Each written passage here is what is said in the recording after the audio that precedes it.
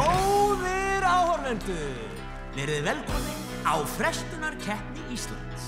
Hér koma fram mennirnir sem tvenka sér aldrei og halda að þið séu ódöðlegi.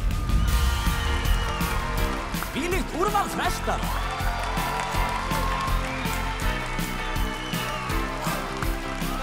Þessi láta sko býða eftir sig. Já, þessum mönnum er á morgun besta svar. Líki getaði frestað og saltað en mikið sem þeir eru glæsileg.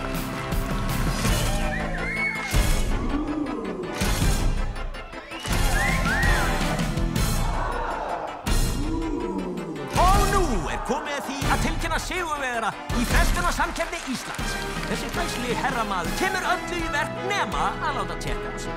Mesti frestari Íslands er... Herra kannski segna!